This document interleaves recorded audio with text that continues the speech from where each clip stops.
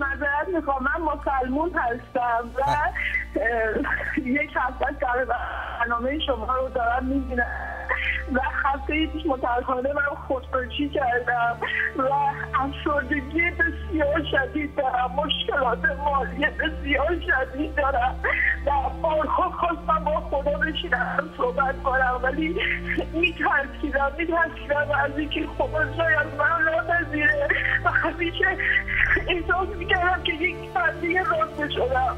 و بین دین خودم و بین دین مسیح کردم. از اینکه میترسیدم گفتم شاید اگر مسیح رو دعوت کنم خدا ناراحت بشه از اینکه دینم اسلام و خدا دارم مسیح رو دعوت می‌کنم. آمین.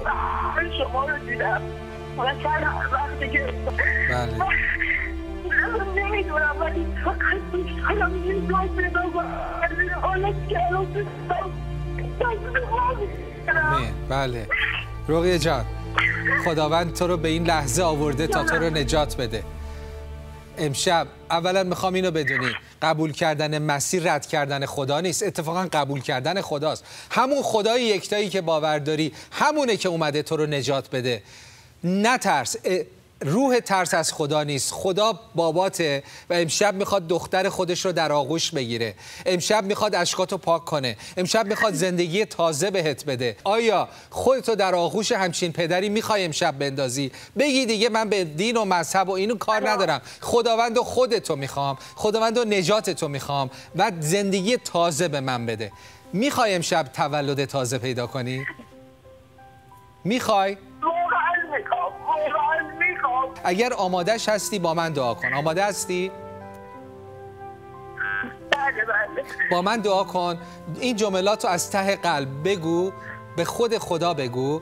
من هدایتت می‌کنم. بگو خداوندا می‌دونم من رو دوست داری.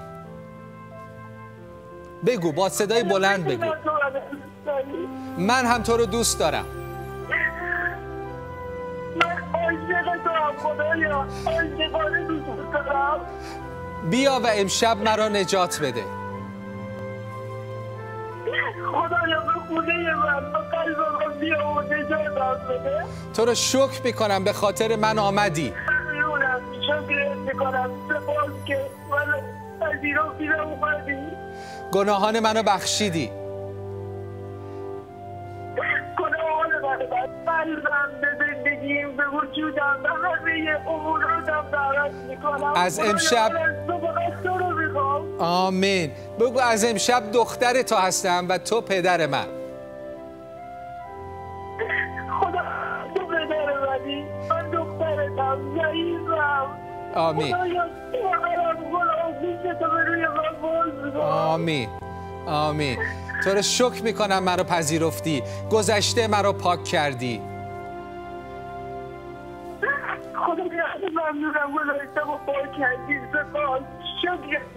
و شکر می‌کنم برای آینده روشنی که در تو دارم. شکر می‌کنم. بابت آینده روشنی که تو برام در انتظار داری خدایا. عیسی مسیح مرا عوض کن.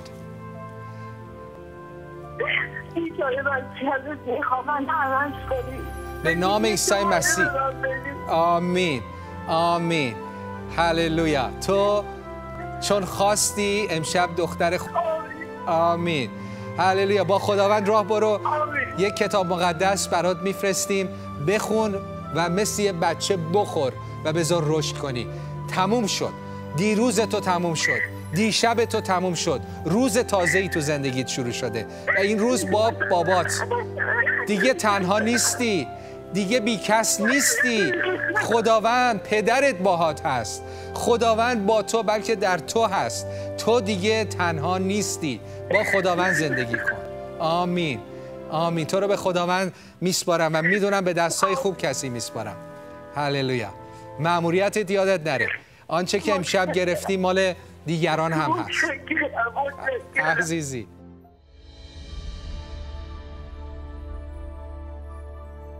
Since that phone call, we have talked to her many times. I have good news. Her life is transformed. She doesn't think about suicide because she has hope. She is hungry for the Word of God. She witnessing to family and friends.